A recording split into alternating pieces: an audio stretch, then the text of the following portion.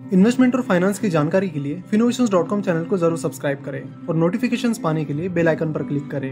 नमस्कार। इन्वेस्टमेंट करते वक्त हम कई बार जाने अनजाने में कई सारी मिस्टेक्स करते हैं।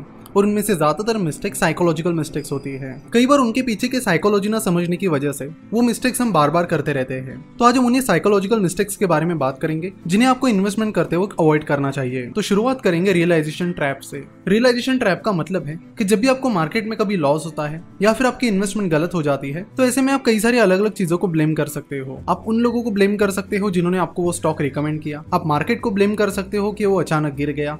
या फिर आप बाकी चीज़ों को ब्लेम कर सकते हो। तो ये जो ब्लेमिंग थ्योरी है, उसे रियलाइजेशन ट्रैप कहते हैं। रियलाइजेशन ट्रैप में इन्वेस्टर कभी भी खुद को ब्लेम नहीं करता है। वो हमेशा आउटसाइडर्स को ब्लेम करता है। जब भी इन्वेस्टर्स को लॉस हो जाता है तो कई बार वो, जिन्होंने उन्हें वो स्टॉक खरीदने के लिए कहा था, उन्हें ब्लेम करते हैं। या फिर बाकी चीज़ों को ब्लेम करते हैं, लेकिन वो खुद को कभी ब्लेम नहीं करते हैं। और इसी वजह से नेक्स्ट टाइम जब सेम सिचुएशन आती है, तब वो सेम मिस्टेक करते हैं। बस फ़र्क ये होता है कि पहली बार स्टॉक को रिकमेंड करने वाला कोई और पर्सन होता है, और दूसरी बार और। यानी वो पर्सन खुद को ब्लेम नहीं करता है, अपनी मिस्टेक्स के लिए, कि उन्होंने दूसरों की रिकमेंडेशन के बेसिस पर उस स्टॉक को खरीद लिया। वो सीधे उस पर्सन को ब्लेम करते हैं। तो जब तक आप खुद उस मिस्टेक को रियलाइज़ नहीं करोगे, और खुद को ब्लेम नहीं करोगे, तब तक आप इस रियलाइजेशन ट्रैप में फंसे रहोगे। तो गलतियों को एक्सेप्ट करना सीखो और फिर उन गलतियों से सीखो। नेक्स्ट है लॉस अवर्जन लॉस अवर्जन की थ्योरी हमें ये बताती है कि कोई भी लॉस होने के बाद हमें जो दुख या दर्द होता है, वो हमारे किसी सक्सेस या जीत की खुशी से तीन गुना ज़्यादा होता है। और क्योंकि लॉस होने का पेन बहुत ज़्यादा होता है, इसलिए कई सारे लोग लॉसेस को अक्नोलेज करना नहीं चाहते। यानी वो एक्सेप्ट ही नहीं करते कि उन्हें लॉस हुआ है। और इसीलिए उन्होंने खरीदे हुए बिजनेसेस जब बहुत खराब परफॉर्म करने लगते हैं, या फिर बहुत खराब परफॉर्म करते हुए बैंक के करीब जाते हैं तो भी इन्वेस्टर्स उन शेयर्स को नहीं बेचते हैं। वो उन्हें होल्ड करके रखते हैं इस आशा में कि कभी ना कभी स्टॉक की प्राइस बढ़ जाएगी और उन्हें प्रॉफिट हो जाएगा। अगर किसी कंपनी का बिज़नेस बहुत ही खराब परफॉर्म कर रहा है और कंपनी का फ्यूचर आपको बहुत ही ब्लरी नज़र आ रहा है तो ऐसे टाइम उस कंपनी को बेचने की बजाय ये लोग उसे होल्ड करके रखते हैं। लॉस ओवर्जन की वजह से एक और स्ट्रेटेजी का इस्तेमाल इन्वेस्टर्स करते हैं, जिसका नाम है एवरेज प्राइस थ्योरी इसमें जब भी किसी शेयर की प्राइस गिर जाती है, तब लोग उसे और खरीदते हैं ताकि उनकी बाइंग प्राइस नीचे आ जाए। जब ये प्राइस और गिर जाती है ये लोग उसे और खरीदते हैं ताकि इनकी एवरेज बाइंग प्राइस और नीचे चली आए। फॉर एग्ज़ाम्पल जब येस बैंक की शेयर प्राइस तीन सौ रुपए से दो सौ रुपए के करीब चली गई तो कई सारे लोगों ने इसे दो सौ रुपए पर खरीद लिया, ताकि उनकी एवरेज प्राइस कम हो जाए। फिर जब येस बैंक की शेयर प्राइस और गिर गई, तब लोगों ने बैंक के बिज़नेस प्रोस्पेक्ट्स और बाकी चीज़ों को नहीं देखा। उनको बस ये चीज़ पता थी कि हमें लॉस बुक नहीं करना है। इसलिए वो लगातार और शेयर खरीदते चले गए जिसे हुआ ये कि उनके लॉसेस और भी बढ़ते चले गए। और ये मिस्टेक कई सारे लोग करते हैं। देखो एवरेज प्राइस की थ्योरी उन कंपनीज़ के लिए होती है जो फंडामेंटली बहुत स्ट्रांग होती है और जिनके फ्यूचर प्रॉस्पेक्ट्स काफ़ी अच्छे होते हैं। और जब ऐसी कंपनी के शेयर काफ़ी ज़्यादा गिर जाते हैं, तब आप उसे एवरेज कर सकते हो। लेकिन एवरेज प्राइस थ्योरी के नाम पर किसी भी कंपनी के शेयर्स जब कम हो जाए, तब उसे खरीद लेना ये सही स्ट्रेटेजी नहीं है। तो लॉस ओवर्जन थ्योरी हमें कहती है कि जब भी आपको लॉस होता है, आपको उन लॉसेस को अक्नॉलेज करना चाहिए। दुनिया में कोई ऐसा इन्वेस्टर नहीं है जिसको सिर्फ़ प्रॉफिट ही प्रॉफिट हुआ है। आप कह सकते हो कि losses are the part of the game ये वो गलतियाँ हैं जिनसे इन्वेस्टर सीखते हैं और आगे बढ़ते हैं। और इसलिए बड़े बड़े इन्वेस्टर्स भी पोर्टफोलियो को डाइवर्सिफाई करते हैं, क्योंकि उन्हें भी पता है कि उन्हें भी लॉसेस हो सकते हैं। तो लॉसेस से आज तक कोई नहीं बचा है। तो आप उन्हें अक्नॉलेज करो, उनसे सीखो और आगे बढ़ो। नेक्स्ट है फॉल्स कंसेंसस इफ़ेक्ट जब भी इन्वेस्टर्स किसी कंपनी में इन्वेस्ट करते हैं, तब वो सोचते हैं कि ज़्यादातर लोग उनके जैसा ही सोच रहे होंगे। लेकिन इन्वेस्टमेंट वर्ल्ड में ऐसा ही होगा, ये ज़रूरी नहीं है। क्योंकि कई बार ऐसी इन्वेस्टमेंट अपॉर्चुनिटीज़ आती है, जो बहुत ही कम लोगों को दिखाई देती है। और वैसे भी हर किसी पर्सन के इन्वेस्टमेंट करने के तरीके स्ट्रेटेजीज चॉइसेस डिफरेंट डिफरेंट होती है। हमारी हॉबीज चॉइसेस बाकी लोगों से कई बार डिफरेंट होती है। इनफैक्ट ज़्यादातर टाइम वो बाकी लोगों से डिफरेंट ही होती है। इसलिए ज़रूरी नहीं है कि जो भी आपकी हॉबीज हैं चॉइसेस हैं, वो वैसे ही होनी चाहिए जैसे ज़्यादातर लोगों की है। सिमिलरली जब भी आप कोई इन्वेस्टमेंट कर रहे हो तो ये भी ज़रूरी नहीं है कि आप जो इन्वेस्टमेंट कर रहे हो, वही इन्वेस्टमेंट बाकी लोग भी कर रहे होंगे। या फिर बाकी लोग जो इन्वेस्टमेंट कर रहे हैं, वही आपको करनी चाहिए। ग्रेट आइडियाज़ ग्रेट इन्वेंशन और ग्रेट डिसीज़न हमेशा सोसाइटी के ज़्यादातर लोगों ने ठुकराए थे। फिर भी उन ग्रेट आइडियाज़ को ग्रेट इन्वेंशन को और ग्रेट डिसीज़न को, वो सक्सेसफुल लोग बिना इस चीज़ की चिंता किए कि बाकी लोग इसके बारे में क्या सोच रहे हैं, आगे लेकर चले गए। सिमिलरली जब भी आप इन्वेस्टमेंट कर रहे हो तो आप ये चीज़ मत देखिए कि कितने लोग आपसे अग्री करते हैं, कितने लोग आप ही की तरह उस कंपनी में इन्वेस्ट कर रहे हैं। आप ये देखो कि उस कंपनी में इन्वेस्ट करने के पीछे आपकी रीजनिंग क्या है, आपके लॉजिक्स क्या है, क्या चीज़ें आपको सही लगे और क्या नहीं।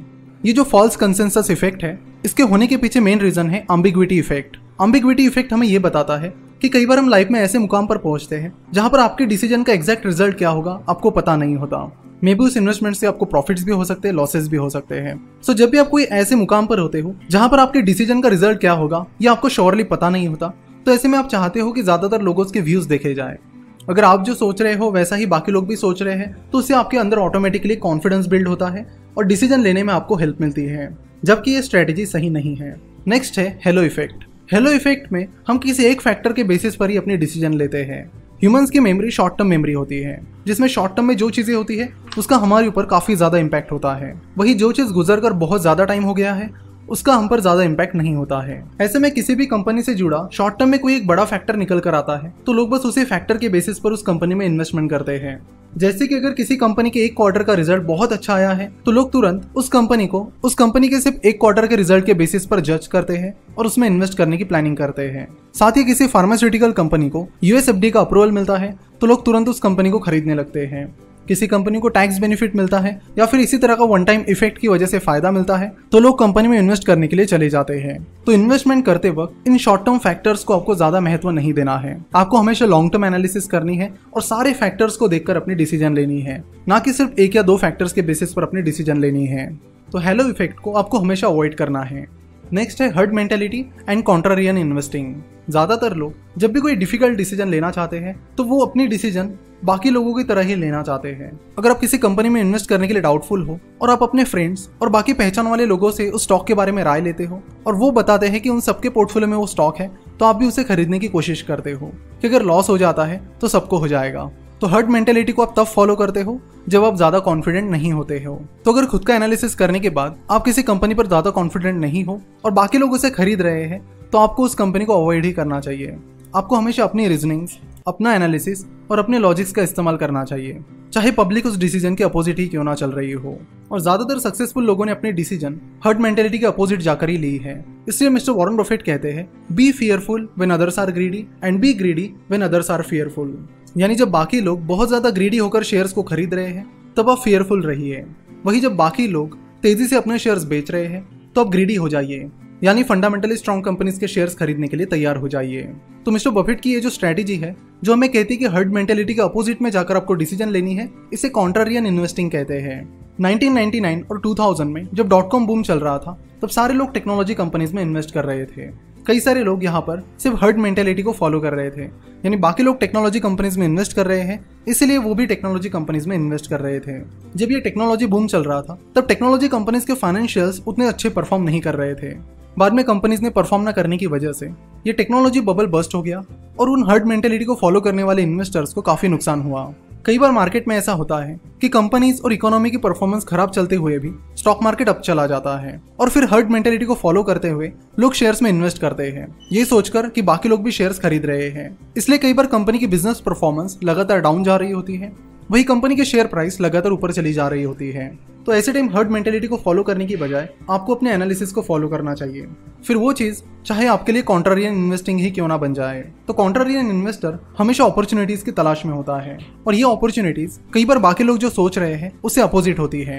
रिसेशन के टाइम जब बाकी लोग कंपनीज़ के शेयर सेल कर रहे होते हैं, उसी टाइम मिस्टर बफेट जैसे कई सारे बड़े इन्वेस्टर्स मार्केट में उतरकर कंपनीज़ खरीदने लगते हैं, क्योंकि उन्हें रिसेशन के टाइम अच्छी कंपनीज़ कम वैल्यूएशन पर मिल जाती है। तो आप देखोगे कि ज़्यादातर सक्सेसफुल इन्वेस्टर्स कॉन्ट्रारियन इन्वेस्टर्स होते हैं, जो हमेशा अपॉर्चुनिटीज़ की तलाश में होते हैं। और उन्हें पता है कि अपॉर्चुनिटीज़ हमें हर दिन नहीं मिलेगी। इसलिए जब भी उन्हें मिलती है तो उस अपॉर्चुनिटी को टैप करने की वो कोशिश करते हैं। तो इन सारे साइकोलॉजिकल फैक्टर्स को आपको इन्वेस्टमेंट करते वक्त ध्यान में रखना है। आज का ये वीडियो मिस्टर परक पारिक की book value investing and behavioural finance इस बुक की समरी थी। इस वीडियो में थिंकिंग फास्ट एंड स्लो इस बुक से भी कुछ पॉइंट्स लिए गए हैं। साइकोलॉजिकल फैक्टर्स को समझने के लिए आप इन दोनों बुक्स को ज़रूर पढ़िए। लिंक नीचे डिस्क्रिप्शन में दी गई है। हम हमारे एक और चैनल फिनोशन अपडेट्स के ज़रिए फाइनेंशियल अपडेट्स आप तक पहुंचाते रहते हैं। वो भी शॉर्ट फॉर्मेट में। तो अगर आपको फाइनेंशियल मार्केट से जुड़ी डेली अपडेट्स चाहिए तो आप हमारे फिनोशन अपडेट्स इस चैनल को ज़रूर सब्सक्राइब कीजिए। लिंक नीचे डिस्क्रिप्शन और कमेंट बॉक्स में दी गई है।